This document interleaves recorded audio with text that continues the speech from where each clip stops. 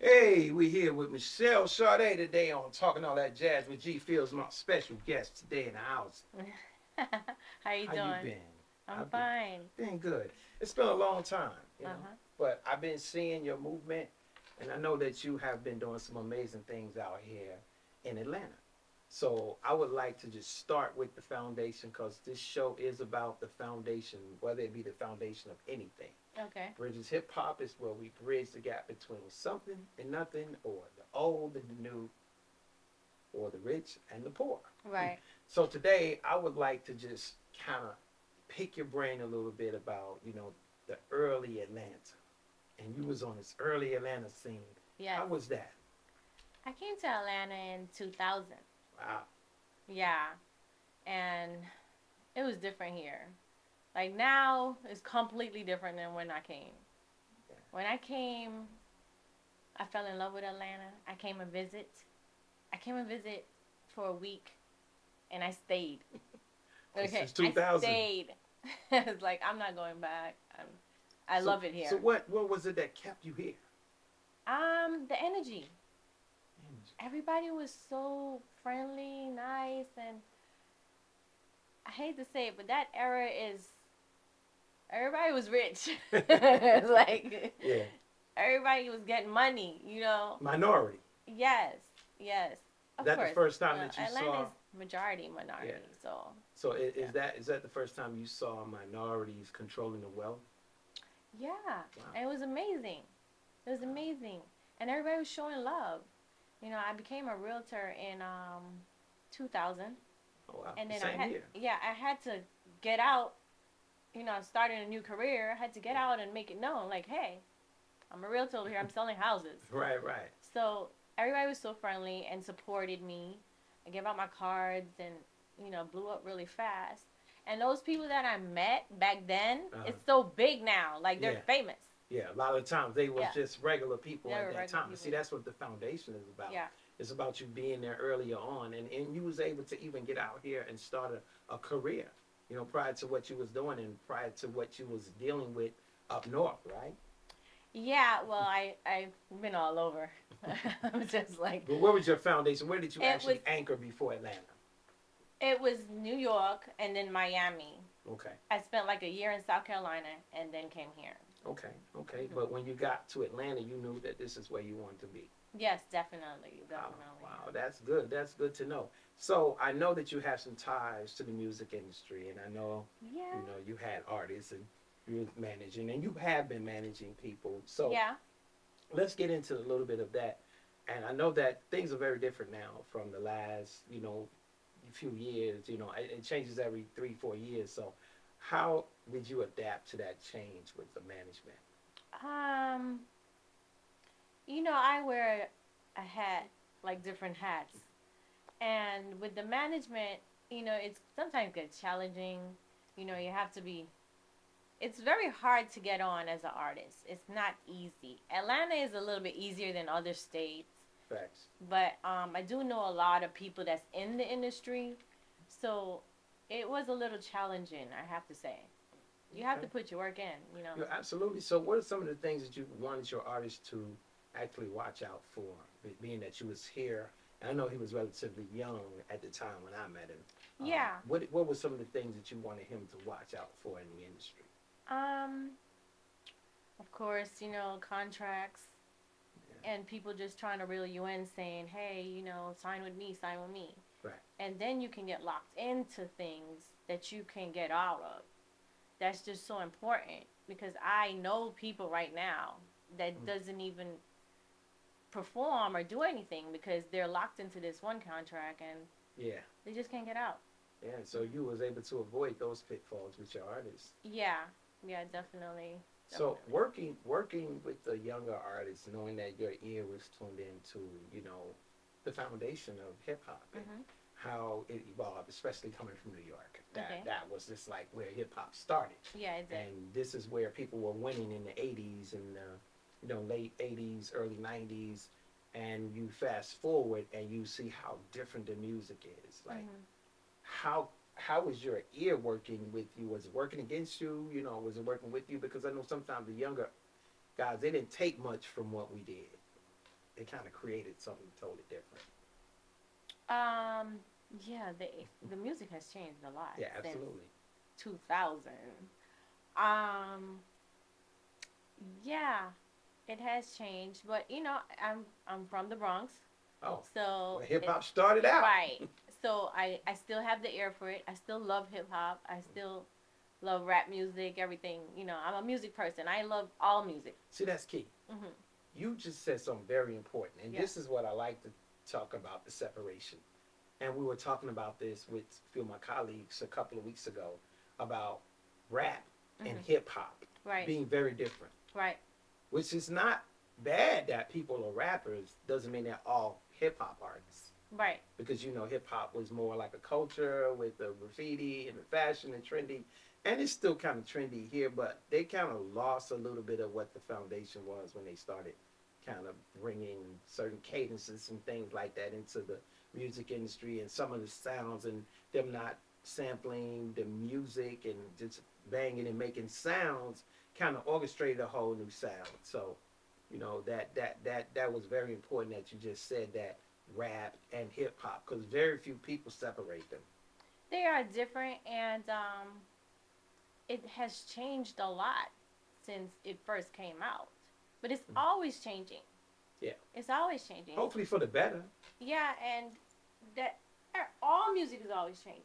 So you know. Well, along with the music, Michelle, you Mhm. know, not only the music is changing, the violence is increasing. Yeah, I know. You know, because they're associating the violence with the music, and that's not Right. something we grew up on or had intentions for hip hop to go in that direction. You know, as far as if anybody had a problem with each other, you know, we took it on wax. We put it on wax. You know, you said something about me, I went there, I went home and made a The song that beef. was harder. Yeah, you know. now it's like the street guys are actually becoming the artists. Like they're actually signing people that probably had a body on them before. That's what makes them a bigger artist now. You know, if they have some beef. How you yeah. feel about that? Um. Yeah, it's it's gotten very serious, you know, and I think it all started back with the Smalls and Tupac and Yeah. the beef, and Yeah. and from then on, it just started being beef, West Coast, East Coast, and Yeah, and that and now it's stuff. just more about a chain. You Mhm. know, if if you got a bigger chain than I do, you know, and I don't that. like the fact that you flaunting this chain around and I'm broke, and you out here getting money, Yeah, you know, or your diamonds is real and mine's fake. Yeah, it, It- it's it's sad. it's serious. It's So serious. so what do you think we can do to try to deter these kids from the violence and keep them grounded and steadfast in, in, in hip hop and, and, and, and so that the culture can live? What what do you suggest? Um. Now you say kids, like what age range are you saying? Well, well, you know, I'm old enough to be signed. Oh, 21. teens? 21, Yeah, 21 to 30. 21 to 30. So that generation don't believe in work. hmm Okay? So this- I don't know what happened, but it's no working going on. Mm. So, um to say, you know, to get them a career and get them off the streets or get them into the music industry like Puff Start, you know, getting the coffee. I don't know if they're open to that. Mm. They're really not open to stuff like that. They're just like, "Oh no, I'm a star already." Yeah. What, what what you think that that why do they have that train of thought that they're a star ready? Do you blame the record execs for not screening the uh, the old artist development what we used to have where artists had to go through artist development so they can learn certain things and, and even the discipline at that time we, we taught that. So do you think that because there's no more of that that people can just walk in the game now with no rules? No, I think it's the internet. Mm. It's social media. Mm. They already think they're a star because social media. Look at how many followers I got. I'm a star. Just because you have a lot of followers. Followers. But but but you think that that's a false narrative, obviously. Yes, it is. I mean, because most time a star is unreachable, right? Right. That's what a star was, because a star is also seldom seen. These guys are out every day, Yeah. you know, so you can't be a star if I'm seeing you every day, Right. You Right. know. Exactly. you know, or hearing you every day. So the internet is a bit much, and and I would agree that um, technology helped. Um, it's a gift and a curse because without it, we wouldn't be able to reach as many people as we can. So some of the new platforms actually is amazing if you use them in the right way. Yeah, and it can also be stressful for them because they have to be competing with each other on the internet. Before, back in the day, we didn't have that kind of stress, Right, right. which the internet helps you to get famous fast, which is great. Like Mm. you said, a gift and a curse. Right. I mean, back in the day, you had to tour the world for people to even know yeah, you. To know you got to hit all 50 states. Right. Yeah, buses and you know, Right. back in the days you, you had to get there. But you know, brand illusion hmm is what's going on now. And I like to say brand illusion because it's an illusion to, to think that you're a star, but know that you don't have the credits, know that you haven't done the work, but to actually think that in your head because you have one single out, then you go do a concert with one song, and after that one song that you got on the radio, you have nothing else for the crowd. I've seen that several times. Yeah, they did have some one hit wonders come out, and you know, a lot of labels got screwed with that one.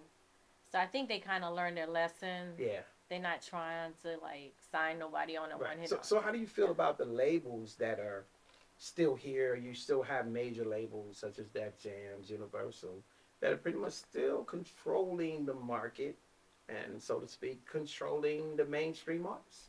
So, what do you think that these people have learned? Because obviously, you know, they come from a whole different era, but if they're able to sustain with the new artists, what do you think the ingredients is? Like, how do they keep themselves up? you know, as a, a major record label. I don't know. I think it's really tough for them right now, and Yeah. there's a lot of talent out here. There's a lot of talent in like people that's not famous is really talent. So you're saying Some real talent. the creative artists Yeah. on the other side may not be heard or, or it isn't a voice that the record labels are not tapping into because what they have done now is made people go out and do and get a buzz and Yeah. then come back. But that buzz could be anything, you know. It could be a street guy who just famous in the street for being a d boy, you know, that got a few few dollars, and somebody say, "Hey, man, me write you some raps," Right. and there he is. He's number one in the country Right. you know um, i know that you come from you know the bronx and and, and hip-hop is got to be definitely in your veins Yeah. you know it's definitely got to be in doubt. your veins so when you got into real estate real quick Mhm. and switch gears um, what made you want to sell houses what made you want to get into real estate I always wanted to sell houses. Now I have to say I have a background from in the streets, Mm. and um, I wanted to leave that behind, and just you know, because I remember when I was in the streets, I was always running around with the realtor, and I'm- it's like I could do this. Like, it's nothing. It's really not that easy, you know. Yeah. But um, I always wanted to sell houses. and Everybody always say, you know, invest your money in real estate yeah it's very important to do that. So I wanted to sell my houses and um, also do investments myself. but so did you get the license here or did you get to Yeah, I got it here. so you got it here Yeah, I got it here. wow oh. And I was licensed in Florida for a little while, and then I gave it up because I was thinking about moving there to Miami. Okay. But now I, I gave up the license in Florida, but still here, and that's such twenty a- years strong. Such a grind, strong black woman. Twenty years Yep, twenty in the game, real estate. I am actually taking the cram course next week. I did my Ah. pre-licensing last year. Cram. Um, and Wow. um, pre-licensing course, and I'm going to take a cram course, and I'm going to just go ahead and jump in and take my pre-licensing and um, get my real estate license because you know I've been on the other side of a little bit of the investment real estate, but now I just want a license, you know, and maybe I could work underneath you, you know. Yeah, bit, that you that's know. fine. Um, so investing and the license is two, Two different, different ball things, games. you know that. Absolutely, yes, And absolutely. a also- lot of study. Getting the license and being an investor can kind of hurt you, which you probably know that by going to Absolutely. classes.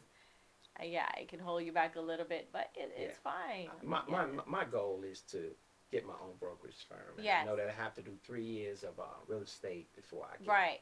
you know, As get an that agent. brokerage. Yeah, yeah, Yeah. So um, that is my goal, though. So we have a lot in common, you know, always have, you know, and I, it's really good to see you again. And I just want to kind of touch on a few other things. Okay, I know that you, you know, you know, move some things around to make it here today, and I really truly appreciate No, no you for doing that. Um, Fine.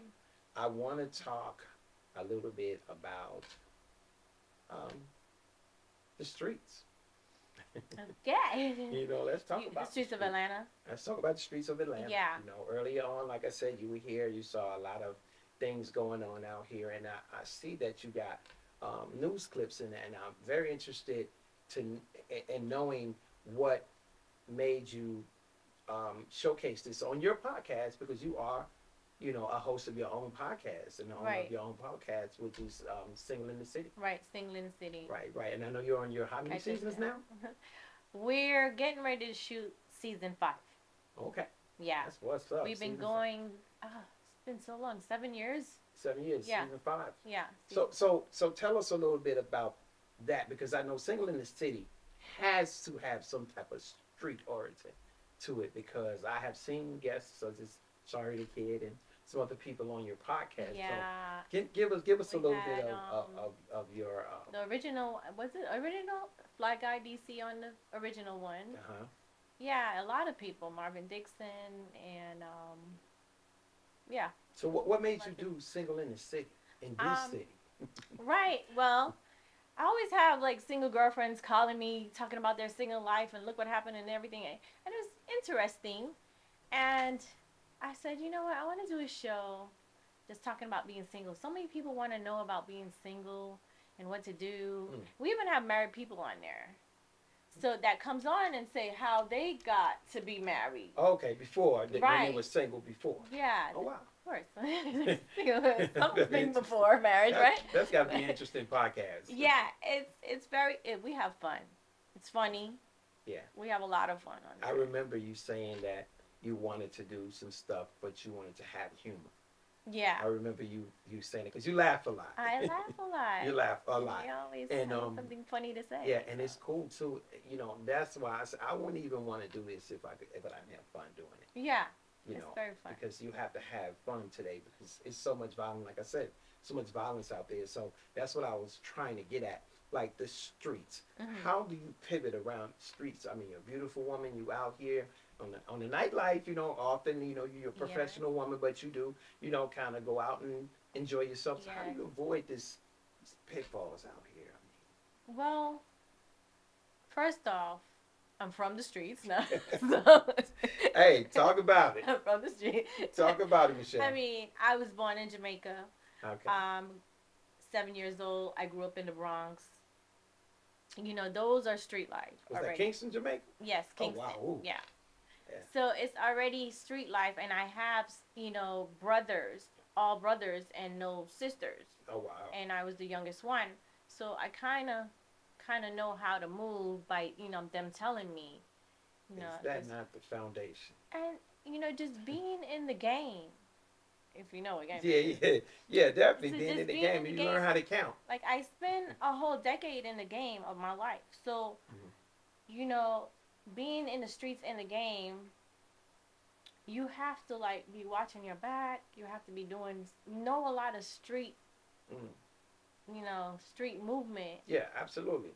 to survive. So, so that brings me to my next topic. You know, artists and dealing with artists and what made you want to actually deal with the artists. I mean, was it the streets that you saw? How you could give back? How you could help?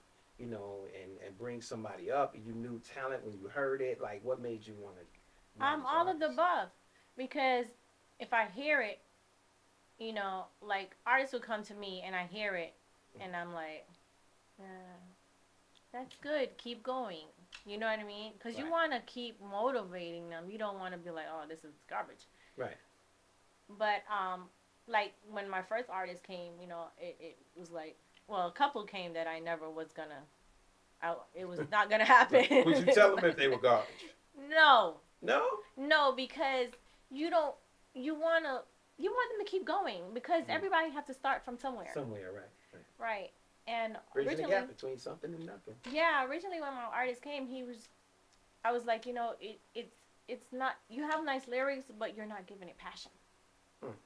So after a while, he understood the passion because if you think about it, everybody liked the Tupac because he had so much Mm-hmm. Passion, passion in his lyrics. Spirit. You can Mhm. write all day and you could you could write the best lyrics there is, but if you don't deliver that correctly and you don't have a voice for that, just wrap it up. You can't convict a person's spirit, you know, when you don't have that type of, you know, motivation, you know, behind Right. you. But a lot of these artists now, and this is this is what I want to touch on, um, that the younger artist is not respecting the older artist. I just recently heard Twenty One Savage say Nas is not relevant. Oh gosh. Did you hear that?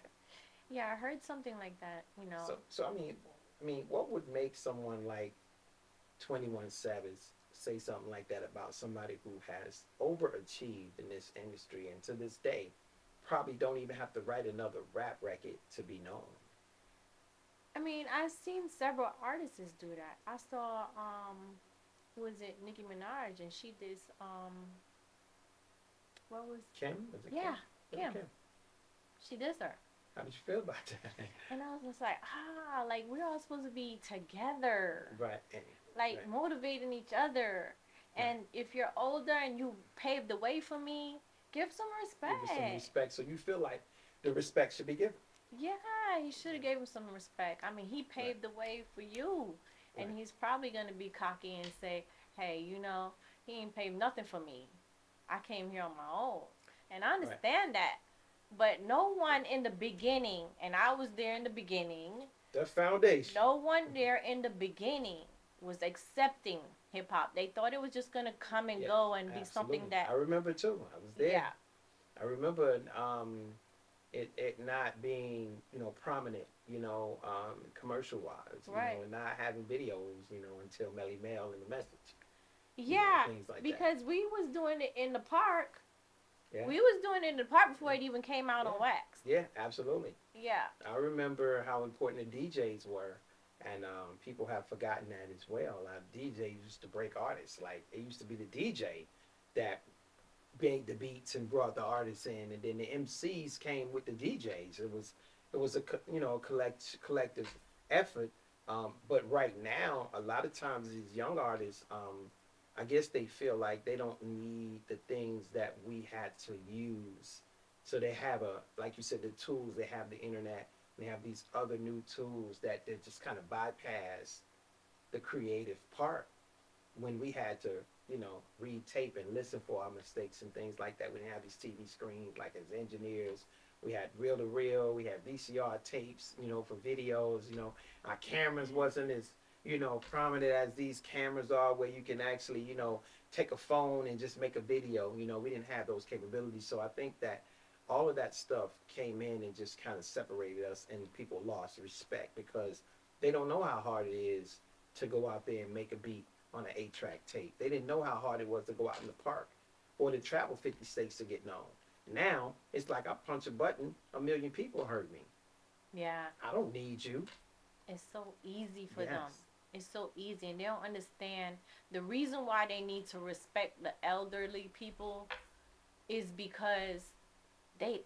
It was so hard for them to get there. Yeah. It was so hard. They, even put in the work. They don't even realize how hard it Like was. Like they cheating the hustle and don't even know it. I like that. Cheating the hustle. Yeah. So, vice versa. Some of the older artists hmm are so mad at the new talent. Yeah. You think that's a mistake too? In some sense. They shouldn't be mad. Even I mean, I can understand if they the gun violence and Yeah, absolutely. they talking about all these things and they have beef with on with each other. Um, and the thing about it is that they're so quick to pull a gun now Yeah. versus back in the day. It wasn't. we even- fought. Yeah, it wasn't. Win, lose, or draw. Yeah, yeah, Didn't matter if you won or not. Just didn't run. yeah, Just don't run. You know. yeah. But I, I don't know. I guess they're kind of pissed off because it's so easy for them and they went Yeah. through so much. Yeah. So so the violence is at an all time high. Uh, lost a great artist Takeoff not too long ago, a couple of weeks ago, should I say? Um, since then, I've heard so many verses from this guy, Hmm. which I heard limited verses from him. Would probably hear the less verses out of the Migos. So they wait till you die to amplify you, to, to, to magnify you.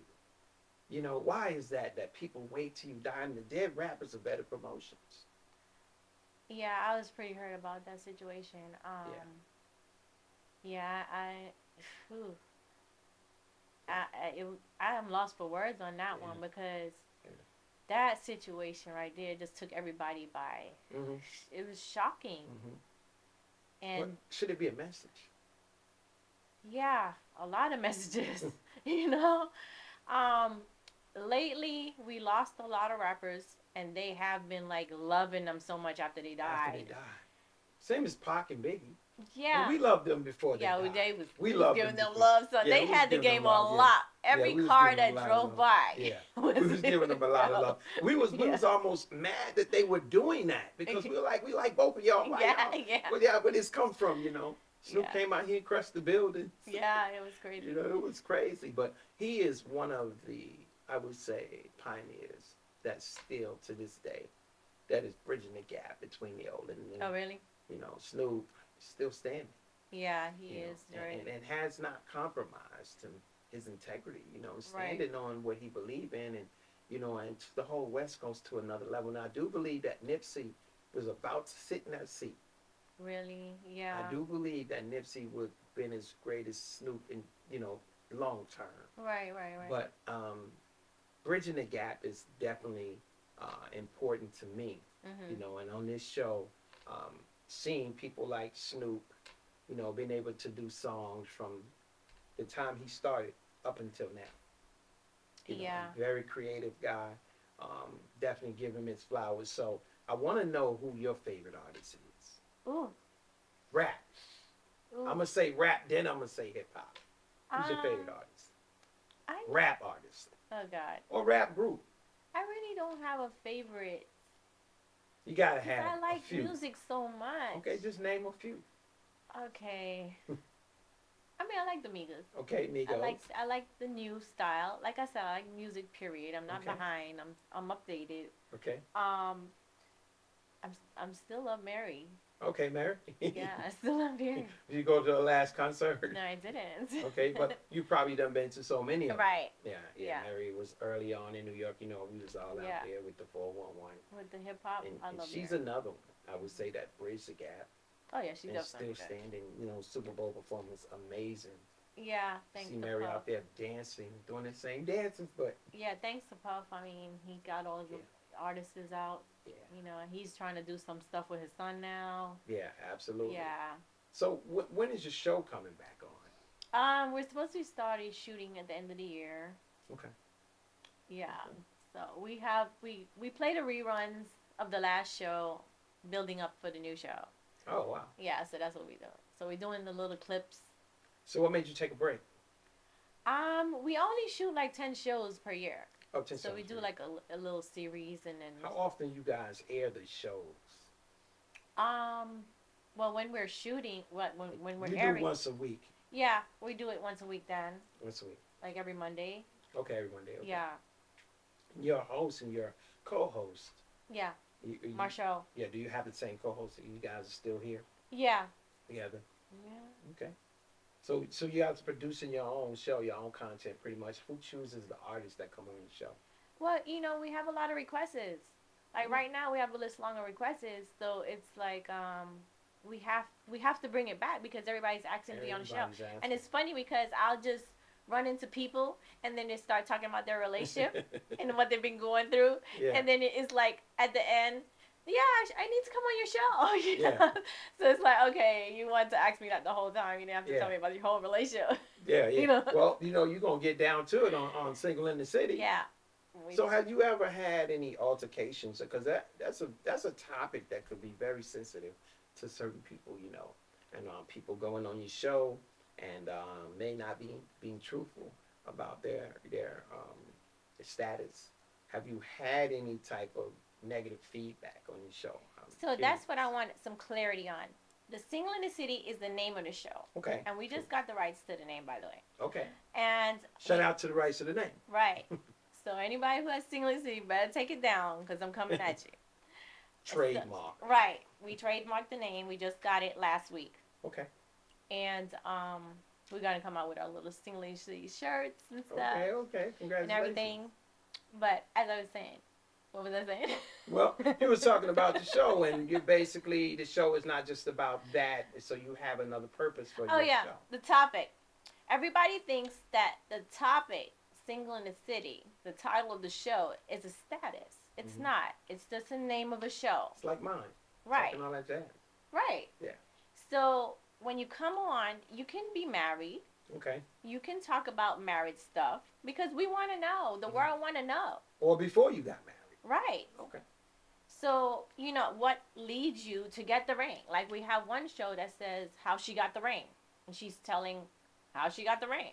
Well, the reason why I ask is look personal. Sometimes you know Mm-hmm. people sometimes feel very personal about their status, their marriages, or whatever. Oh, whatever don't want to reveal it. I'm saying you, you guys are pulling it out of them. You know, at some point. I had You to do that with Sorry Kid. Yes, we had to pull it out because he was being around the bush. Okay, okay, yeah, that's what I'm trying to get at. I mean, because I know that it, it, it had to happen. It Yeah. had to have happened. You know, Yeah. it's people that. But but that's a very interesting sh- um, podcast. You know, I, I didn't see any other ones out there like this. Yeah, we're very different. We talk about everything. We we had one show we talked about energy Hmm. because we're studying energy right now Oh, and how it works Yeah, and everything. yeah. So we I'm had big on energy too. Yeah, Absolutely. everybody is in that mode of the energy and Yeah. stuff, but not everybody get it. Yeah. Well, jazz music is a science. Yeah. It's a science. It's a uh, circle of fifths and fourths and notes. Uh, was built on by John Coltrane. It's actually was created from the Al- Albert Einstein um, theory. So it's a lot of theory and you know energy in music, and people don't realize that. So that that energy that you're talking about, um, I do deal with that every day. So I, I mean, when you play music, you already have that energy built Mhm. up yeah, you have to have to put energy. that out. Mhm. It's just like I'm an artist too, so not a music artist, by the way. Mm. I, Tell them what kind of artist. I'm a painter. I paint.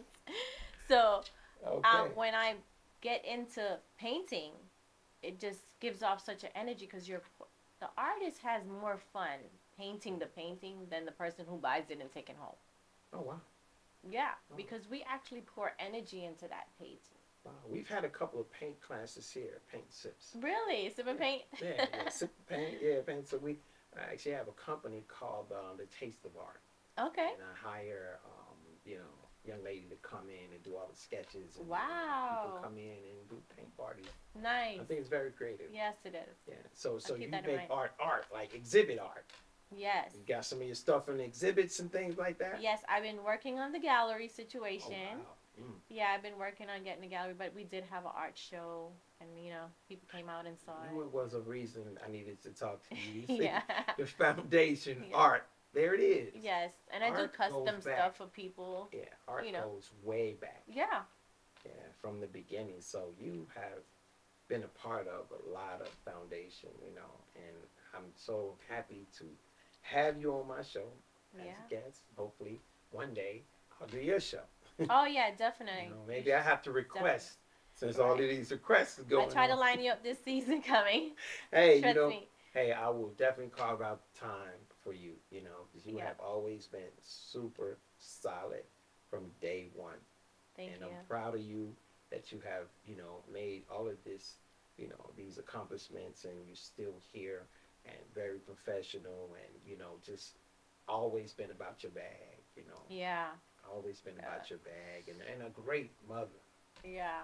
great mother, you know, you know, great Thank you. parenting skills. Yeah. I um Yeah. I wear many hats. I do. Yeah. I'm a hustler. I'm Capricorn, so we work Yeah. hard. There it is. Any grandkids? yes, one. Hey, Just grandma. one. They try to make put me it out there. grandma. so what do you call yourself? You don't like a lot of Mama people say- Mickey. okay, okay, close. And then on the channel, it's Mickey News. So I put news on my channel because Mhm. a lot of the younger people don't watch the news. They make it Yeah. a point not to watch news. Local news too. Right. Mm. So I, if you're strolling on Instagram, you're gonna see the Oh, news. absolutely. I saw a lot of Yeah. the news breaks, and I like that too. Yeah. And I didn't want to be swagger jacking and steal that for the show because I told my God, D, I said, hey, she be doing a lot of the news, you know. And I'm big on the local news. I even Yeah. tell- just told my daughter the other day, I said, you don't watch news? News is depressing. I said, hey, Yeah. somebody could be outside your house on your block And you don't know. and you don't even know. And here it You is. don't They already told you there's somebody on the loose, No. and you don't even know to even watch out for them. So sometimes that, that's very important. You know what made me originally do it? I was going to Miami and I saw a hurricane. Mm. And everybody, we were going as a big trip, and nobody knew it was a hurricane. Oh wow! And it was like, what, what, what hurricane? Nobody What watch the news. Nobody, I was like, nobody's watching the news. So I started posting the news, you know? And it's good to know about what's going on. Not only that, you could have a rapist in your neighborhood that you don't Mhm. even, and then you have the face on the screen, Yeah. and you don't know you're going outside. This, you know? Facts. Yeah. So, So, I'm so proud of you, you know, and your success, and um, selling all these houses. You're into these million dollar homes yeah. by now. I'm yeah. sure. You know, I you do everything. selling big homes I last do time we commercial, I do everything in real estate there Yeah, yeah, you are a Yeah. commercial realtor too. Yeah. I remember that. Yeah. Mhm. So, again, I would like to give you your flowers while you're here. Thank you. You are an amazing woman. You're an amazing talent, amazing parent, amazing everything. Talking all that jazz with G Fields, the Bridge Is Hip Hop here. Thank you no, for thank coming, you. Michelle Sade, y'all. thank you.